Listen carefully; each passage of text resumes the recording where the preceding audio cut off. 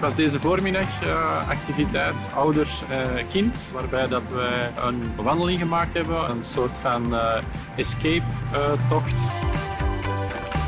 Om naar de volgende stap te gaan, moesten wij dan samen, ouder-kind, raadsel oplossen om op die manier naar de volgende halte op de reis terug naar, naar huis te kunnen gaan.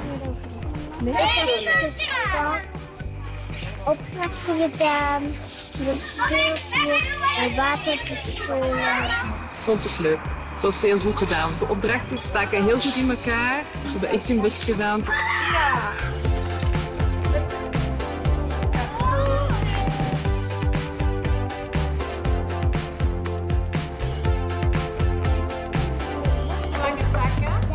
We komen nog uh, terug, maar dan gaan we wel gebruik maken van die telewerkoptie, zodanig uh, dat we ergens toch ook nog wel in de buurt, uh, in de buurt zijn.